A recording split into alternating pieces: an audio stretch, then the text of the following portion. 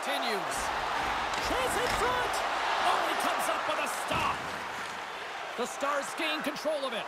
Getting fancy behind the net. Scores! Well, it looks like we're in Michigan. Yeah, it's lacrosse style, isn't it? He's behind the goal line and he's scanning, so he knows exactly what he's going to do with this puck as he scoops it up onto his stick and he goes lacrosse style and buries it.